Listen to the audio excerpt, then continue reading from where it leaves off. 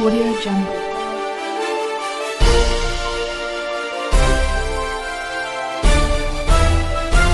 Audio.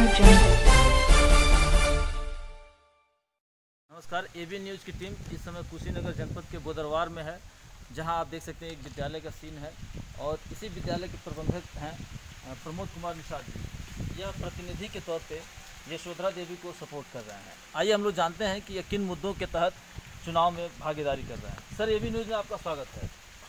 धन्यवाद। जी क्या मुद्दे हैं और किन उद्देश्यों के तहत आप जनता के बीच जा रहे हैं?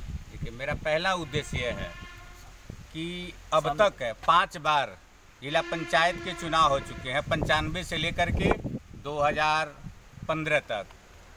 क्षेत्र में जब हम लोग निकलते हैं तो सम्मानित मतदाता ये कहते हैं कि आज तक जितने प्रतिनिधि जीत करके गए जीतने के बाद उनसे मुलाकात नहीं होती है। और मेरा प्रथम यह उद्देश्य होगा कि हम जीतने के बाद अपने सम्मानित मतदाताओं के बीच में बराबर बना रहें, बराबर बना, बने रहने के कारण हमारा उनका संबंध बना रहेगा और उनके दुख और दर्द को हम तब समझ पाएँगे और समझने के बाद उनकी समस्याओं का समाधान आसानी से हम कर लेंगे।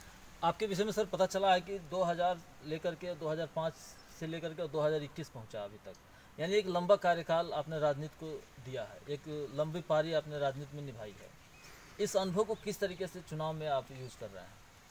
जी, जब मैं 2000 2000 में चुनाव लड़ रहा था तो उस समय मेरे पास लड़ने के लिए न तो कुछ पैसे थे और न तो मेरा बहुत बड़ा कोई बैकग्राउंड था।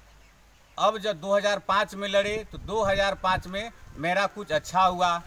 इस समय, अब बीच के, जो बीच का समय रहा, उसमें परिवार को चलाने के लिए विद्यालय का मैंने स्थापना किया, निर्माण किया।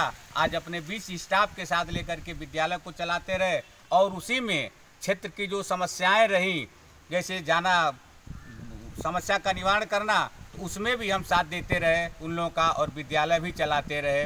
अब इस समय चुनाव लड़ रहे हैं तो अपने अनुकूल हुआ है। अब हम, अब इस समय हम जो भी वादा करेंगे ईश्वर की कृपा से अपने वोटरों के पास तो वादा हम पूरा कर देंगे। अंतिम तौर पर सर, कुछ जनता को आप अपील करना चाहेंगे अपने वोटरों के लिए? हाँ हम उनसे अपील करेंगे कि वे पाँच जिला पंचायत पंचानवे से लेकर 2015 तक, यानी 2020 तक, पाँच जिला पंचायत प्रत्याशी को सदस्य को वह देख चुके हैं। उसके बाद हम उनसे वादा करेंगे कि हर पंद्रह दिन एक महीना के बाद हमारी उनकी मुलाकात होगी और सरकार द्वारा चलाई हुई जितनी योजनाएँ होंगी उसको हम उनके पट, पटल पे रखेंगे और उनका- उस कार्य को करेंगे। धन्यवाद सर। ये रहे हमारे साथ पी के निषाद सर जो कहीं ना कहीं राजनीति में ये आते हैं तो एक बेहतर छवि के साथ उपस्थित होंगे और जिला की जो भी योजनाएँ हैं उसको सकारात्मक रूप से लागू करने का प्रयास करेंगे। चैनल के माध्यम से मैं चाहूँगा कि यह अपने मंजिल में कामयाब हो सके। धन्यवाद।